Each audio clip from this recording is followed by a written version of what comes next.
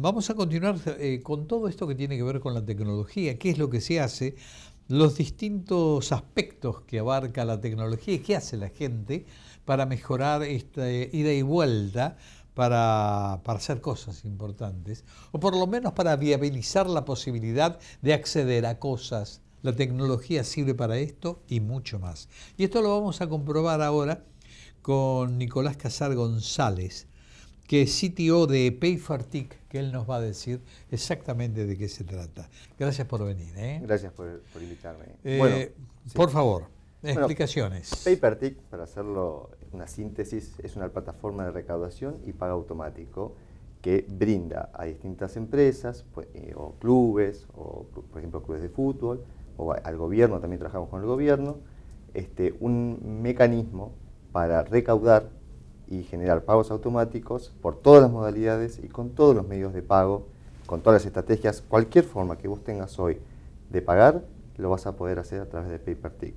Pero no nos quedamos ahí, no es simplemente hay muchos en el mercado, la verdad que nosotros lo que hacemos es tratar de brindar una solución que esté de acuerdo a la capacidad que tenga esa empresa, ese club, ese municipio, esa dependencia del gobierno. ¿Y con esto a qué me refiero? Por ejemplo, hay empresas que, o, clubes que no tienen capacidad tecnológica, no tienen infraestructura tecnológica, entonces nosotros a, esa a ese club le podemos dar una plataforma online para que puedan gestionar la su operación y con esa, eh, con esa gestión brindarle a los, a los socios del club la forma de pagar, ya sea por cualquier medio de pago, tarjetas de crédito, transacciones, CBU, los, los cupones uno va y paga con un código de barra, este, DEBIN, etcétera, que son distintos mecanismos que hoy existen en la Argentina para pagar. Asimismo, hay, otras, hay otros municipios quizás o otros entes del gobierno, eh, ya podemos hablar a gobiernos provinciales, que tienen una infraestructura tecnológica a veces, porque, porque tienen mejor presupuesto y pueden acceder a tener alguna infraestructura.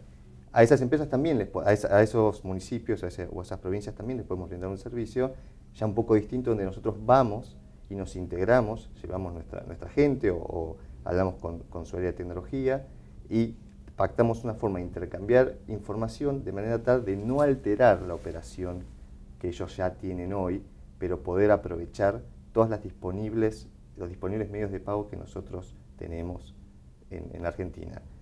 ¿Qué es lo que te pasa hoy? Uno de los problemas que nosotros sobre todo tratamos de, de apuntar es el pago recurrente y el pago automático a veces siempre nosotros decimos no existe el pagador malo, no existe la persona que no quiera pagarte en realidad. La persona muchas veces quiere pagar, pero no puede por distintas circunstancias, porque, porque no llegó, porque hay muchos, por ejemplo, municipios o clubes que la forma de pagar es tenés que concurrir al, club con efectivo. Y el club no tiene quizás un presupuesto, no está, eh, no, tiene forma de decirle a su, a, lo mejor la gente de infraestructura que tiene, bueno, desarrollame un sistema, desarrollame un servicio, quiero que la gente pueda pagar con, con tarjeta de crédito quiero que la gente pueda tener un débito automático.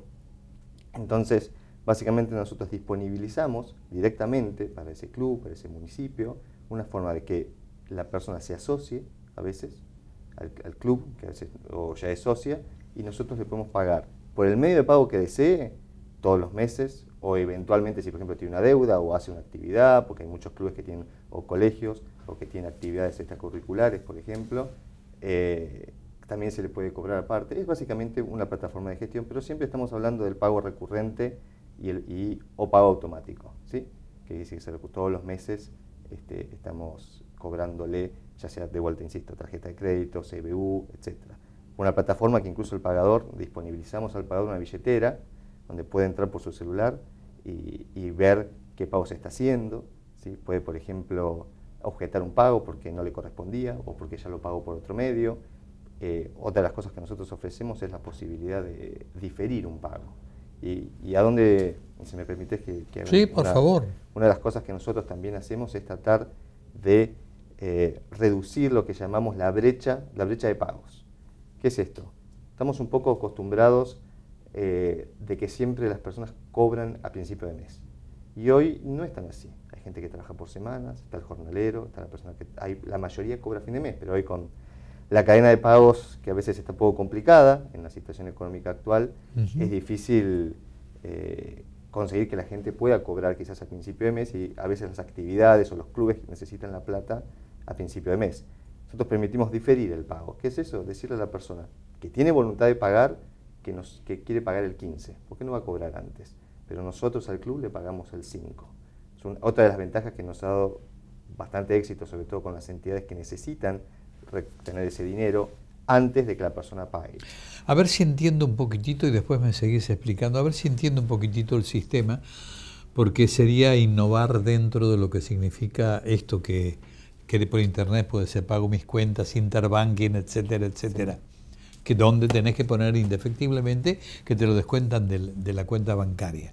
En el caso particular de ustedes es como si existiera un crédito para la gente entre comillas, un crédito donde ustedes se hacen cargo de pagar lo que corresponde en tiempo, forma y monto y después descontar de un monto X que tiene que poner la persona.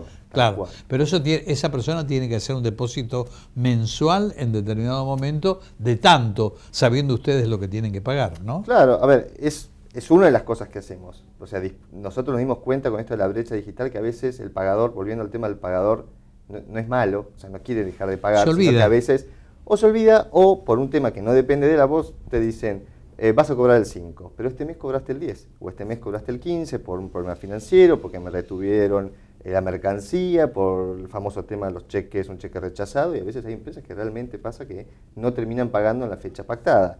Eh, y si bien vos terminás con otro salario, a lo mejor tu club, tu municipio, tu impuesto, que vence en los primeros días de los, mes, de los meses, eh, no llegas a pagar.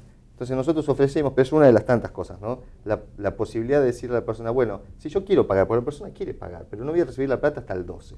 Entonces puedo decir, mi fecha de, pago va a ser el 15 o el 20 de este mes. Yo al club, o al municipio, o a la empresa, o muchas ONG también trabajamos, o institutos educativos, le disponibilizo el pago como si la persona hubiese pagado antes. Y esta persona dio voluntad de pagar te disponibilizo el, cobro. A la persona le voy a cobrar el 20, efectivamente. ¿no? Eso, eso es inevitable. Uno va a pagar todos los meses, ahí nombrabas otras, otras soluciones. Nosotros hacemos eso mismo, o sea, el circuito sigue siendo el mismo. Pero una de las cosas que, que, nos diferencian un poco es permitir esta, este desfasaje que tiene que ver con que en la realidad de hoy no todo el mundo cobra a principio de mes como uno supone. Yo comprendo, entonces es exactamente lo digo, pero ¿cómo se cubren ustedes de la falibilidad del sistema, o sea, de que puedan fallarte, ¿no? Bueno, pueden, eso es inevitable, pero ¿cuál, ¿cuál es el punto acá? Uno está pagando un servicio o está pagando un impuesto que en general es recurrente. Entonces, si no pagas en la fecha adecuada, es muy fácil sacar, sacarle el, servicio. No estamos hablando acá del mercado retail, que está saturado de soluciones de este tipo. Estamos hablando del pago recurrente. ¿A qué voy? Por ejemplo, en el caso impositivo, nosotros somos, muy fuertes en, Córdoba, por ejemplo, tenemos, este, procesamos todo lo que es la, tasa de impuesto inmobiliario, más de 1.200 tasas adicionales y automotor. ¿sí? Eh, si uno no paga el impuesto, se le va a cobrar el mes siguiente con un punitorio. Pero ¿cuál, cuál es la diferencia acá? Que nosotros podemos disponibilizar el dinero antes sin que la persona tenga que pagar el, el punitorio, pero que tiene voluntad de pagar. Por eso digo, el pagador quiere pagar, sabe sus obligaciones. El impuesto es una obligación. El club tiene sus hijos que a lo mejor practican hockey, hijas, hockey, fútbol, un colegio, y por un problema ajeno que puedes tener que ver de vuelta con la, cadena de pagos, no contó con el efectivo en tiempo y forma, o lo que fuese, no está bien hoy con la, tecnología, podemos disponibilizar ese servicio. Yo sé que usted, que el pagador quiere pagar, que quiere disponibilizar el dinero, la entidad también lo necesita, porque, por ejemplo, pasa, pasa muchas veces con, los clubes que en eh, diciembre, enero y febrero, cuando no hay actividad de fútbol, tiene muy poca recaudación, ¿sí? pero generar este pago automático, este movimiento, también te da la posibilidad de mantener el pagador que quiere pagar, que siempre esté ahí disponible. Entonces, lo que tratamos de hacer con esta solución es darle la posibilidad a la persona que quiere pagar que efectivamente pague y el que tiene que recaudar porque tiene que mantener su infraestructura, porque tiene que mantener su negocio, también reciba su dinero.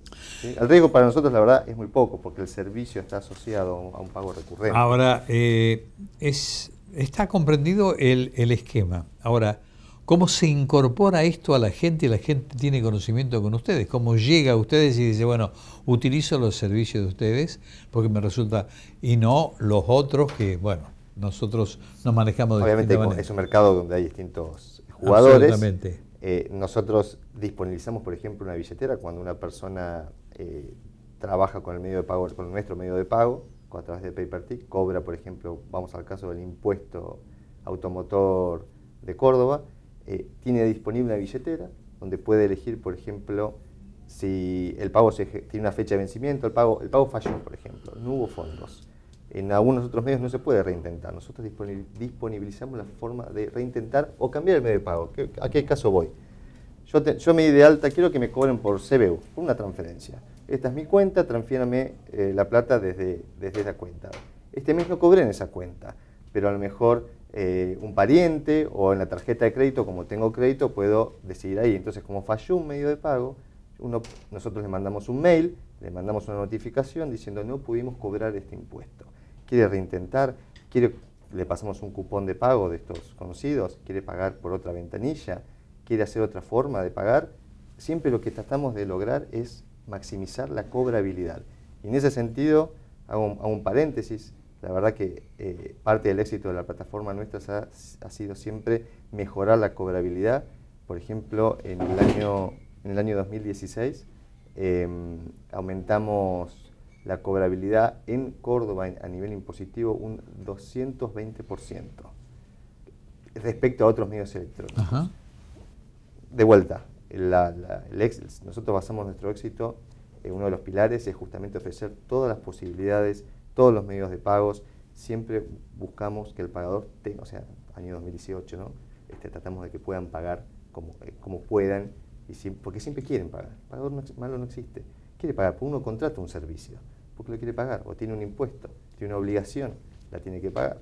A veces es difícil juntar esas dos puntas.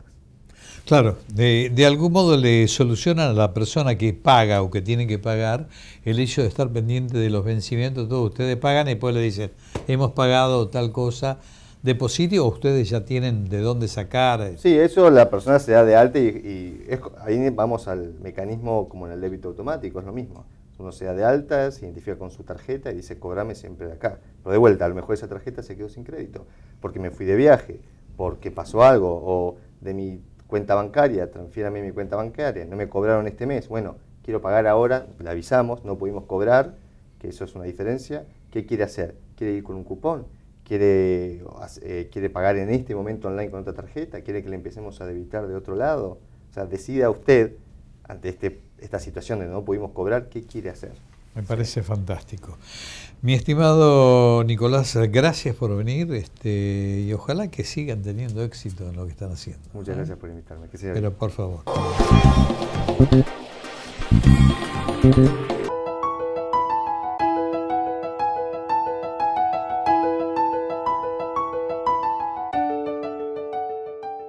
La salud es una condición básica para el desarrollo equitativo e inclusivo. Somos 10.000 centros de diagnóstico y tratamiento médico, 15.000 profesionales y 50.000 trabajadores en todo el país. CADIME, Cámara de Instituciones de Diagnóstico Médico.